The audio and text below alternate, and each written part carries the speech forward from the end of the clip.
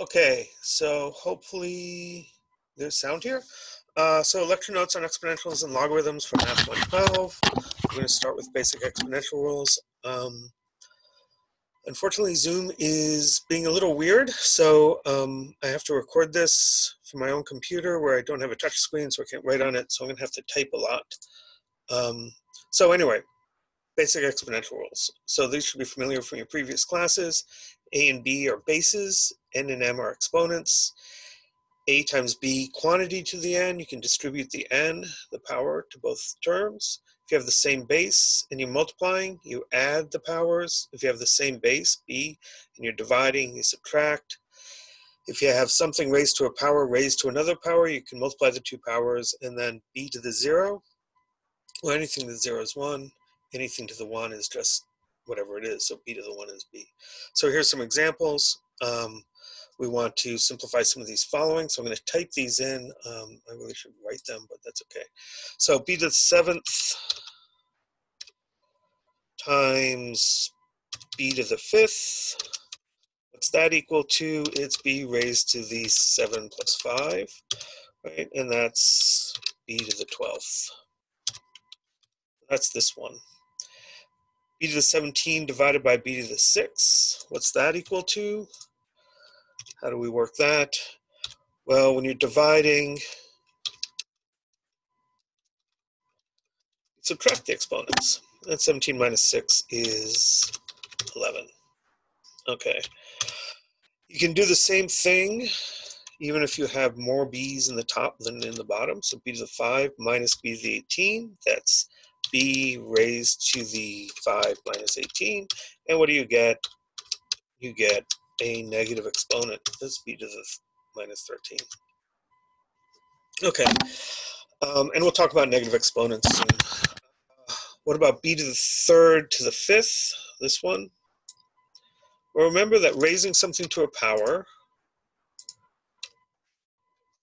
is multiplying it by itself oops, b to the 3, b to the 3, b to the 3, 1, 2, 3, 4, b to the 3, five times, right? So b cubed to the fifth, that's 1, 2, 3, 4, 5 b cubes. How many b's do I have? Well, 5 times 3, that's 15. Right? 3 plus 3 plus 3 plus 3 plus 3. Um, so I just multiply the 5 and the 3 together. And it's very similar if I have slightly different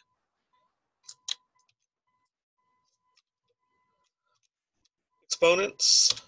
Here, I'm just going to break this apart into two parts, right? This is going to be a cubed to the fourth times b squared, oops, to the fourth. Right? So the 4 applies to both of these, and then a cubed to the fourth is a to the 12th, and b squared to the fourth is b to the 8th. We're just multiplying the exponents together. As for these two things, anything to the 0 is 1. Doesn't really matter what it is, no matter how complicated it is anything to the 1, like 12 to the 1, that's just 12. So usually we don't actually, when we have 12 raised to the first, uh, we don't include the 1, anything to the first power we don't bother with. So negative exponents, if we have a positive exponent in the bottom, 1 over b to the n, that's b to the 0 over b to the n, because 1 is anything to the 0 is 1 b to the 0 minus n is b to the minus n. So b to the minus n is the same thing as 1 over b to the n. And so we want to evaluate some of these things. What are these? Well, let's take, oop, it's not letting me take just this part. There it is.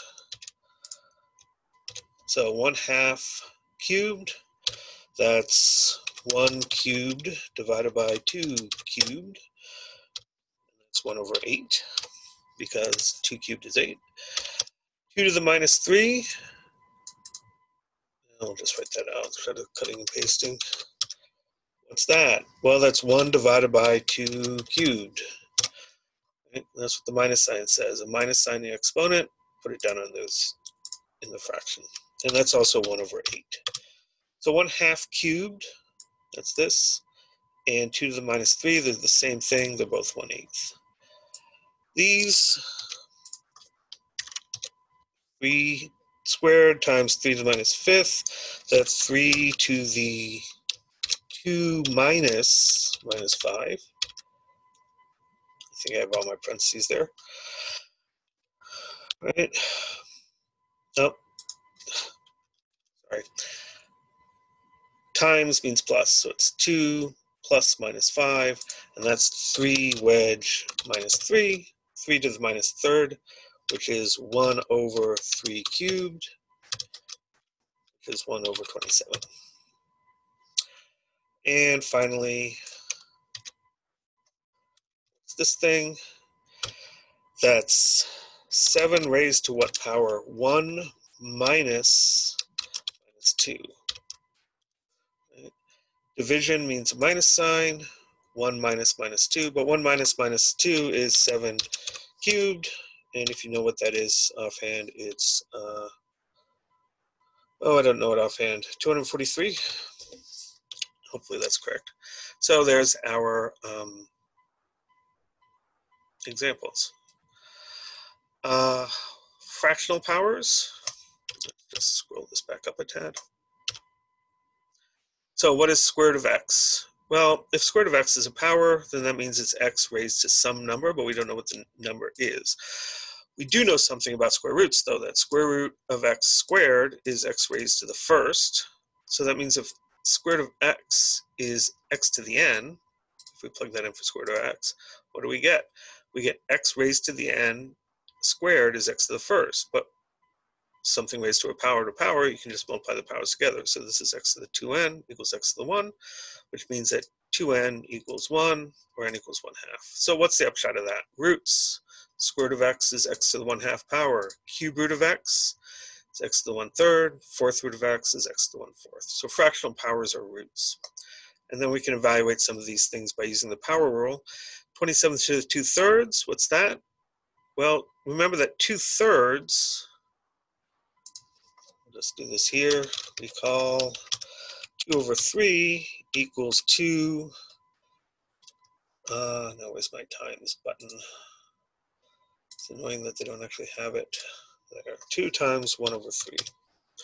Right, so 2 thirds is 2 times 1 over 3, so I can break apart my 2 thirds like this. So 27 to the 2 thirds is 27 to the 1 third, quantity raised to the second power. But 27 to the 1 third is 3, so this becomes 3 squared, and that's 9. So we can do the same thing for these two. What's 16 to the 3 fourths? Well, that's 16 raised to the 1 fourth power.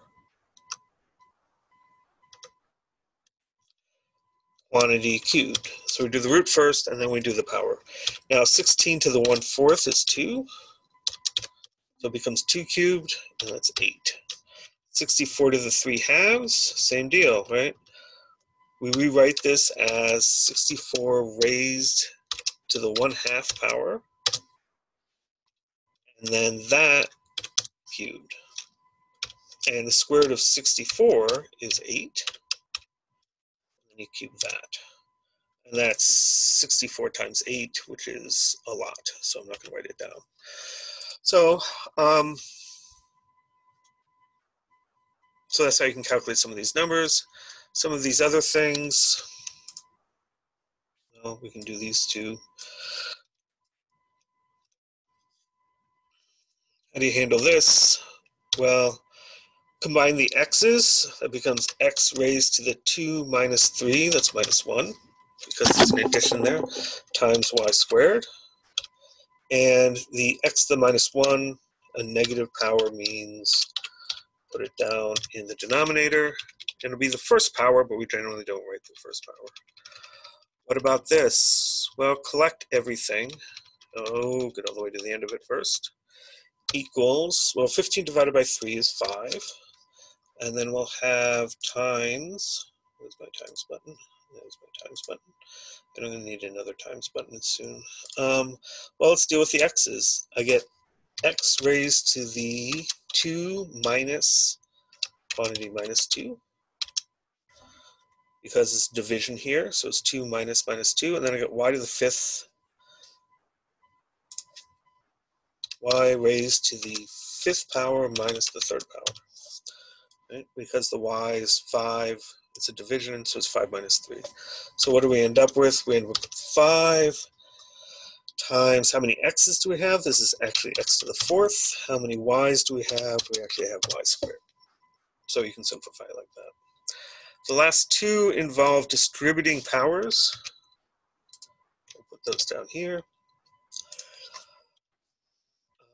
Uh, and let's actually move this to a new line. That didn't work.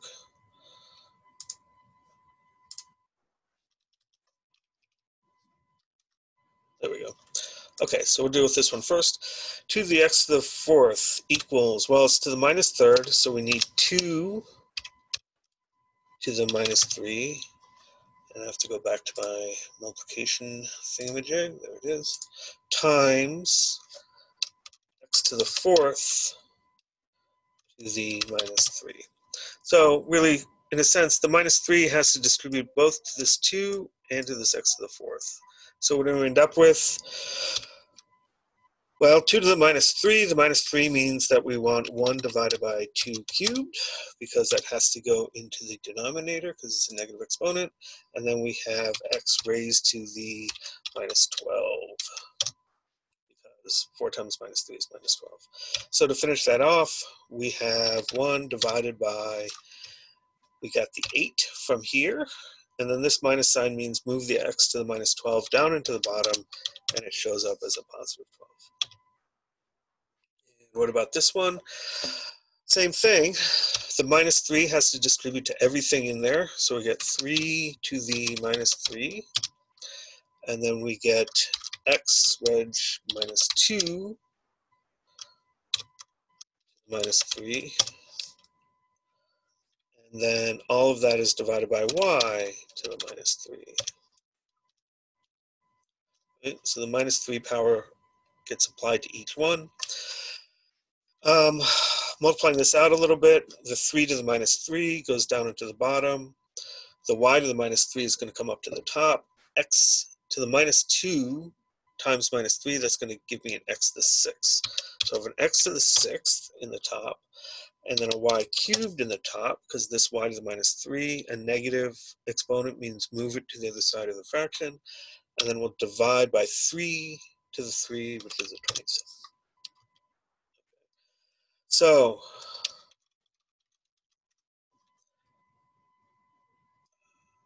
so let's throw in a little bit of a warning here.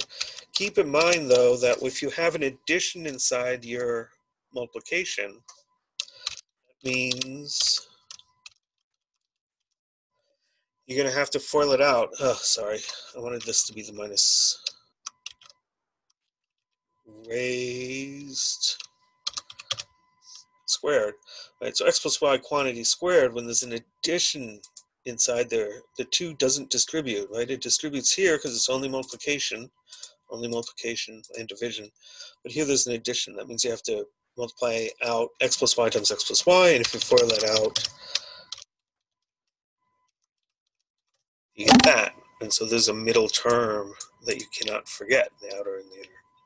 So that's the basics of exponents. Um, next time we'll continue with exponential graphs. So let's see what I can do.